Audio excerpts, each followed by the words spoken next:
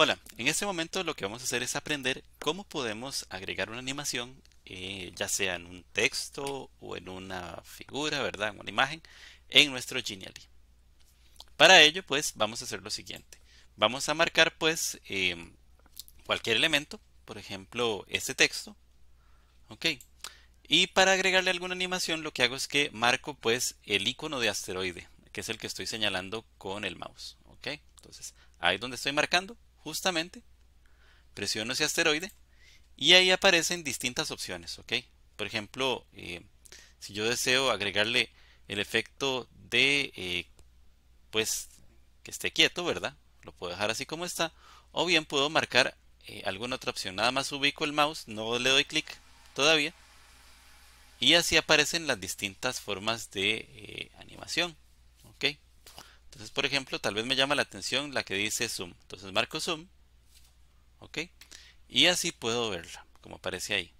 Tal vez quiero no una de entrada, quiero una que sea continua, es decir, que siempre se esté viendo esa misma animación.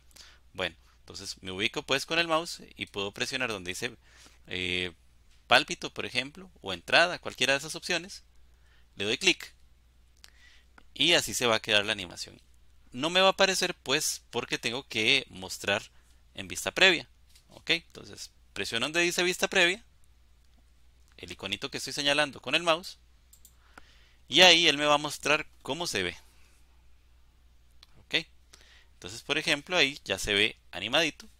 Ok, y recordemos pues que en el video anterior habíamos agregado incluso eh, texto, entonces yo le puedo presionar aquí y me doy cuenta que, ah, ahí hay texto, entonces le presiono ahí y aparece, como les decía, estas son mis apps elegidas y eh, la imagen.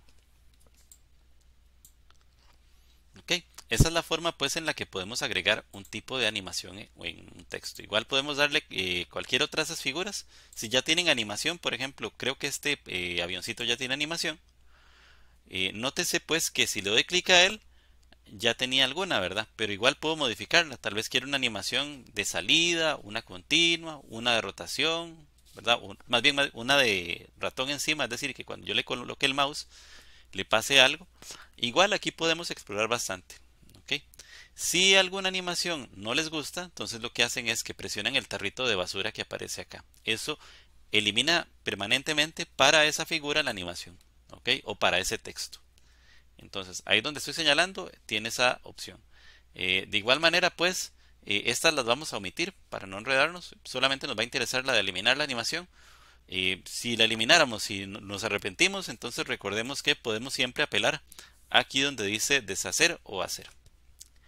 Eh, cualquier consulta o comentario, con mucho gusto me lo pueden hacer llegar. Muchísimas gracias.